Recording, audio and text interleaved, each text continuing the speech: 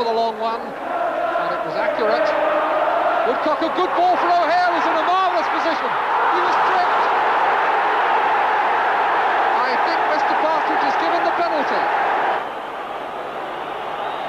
Robertson versus Clemence. But now it is the turn of Nottingham Forest.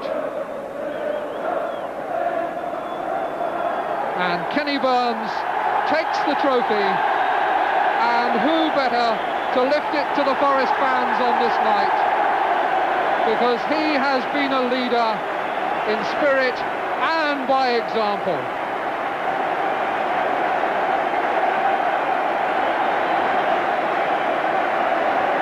Burns and Clough, a partnership that may yet have a long way to go in football and may not have seen by any means the last of the silverware.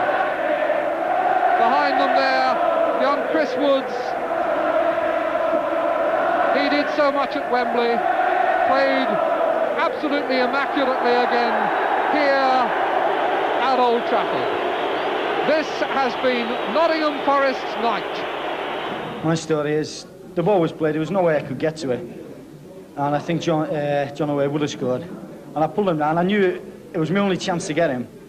And I, I, had to pull him down. It was a professional foul. And I pulled him down. And I know I had to kick him outside the box. I know it sounds bad, but any professional would do it. I brought him down outside the box. What about the penalty?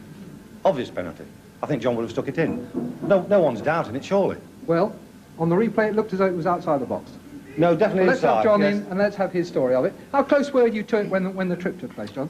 I was quite a bit away, actually, you know. Uh, left-hand side, Solly went when Tony put it through. But it looked to me as if it was inside. What was John O'Hare's feeling about it? Well, he said it's certainly inside, certainly. But your cameras will catch it, surely. Yeah, and I think they show it outside. That's how it goes, eh? It also shows we've got the cup, that's the main thing.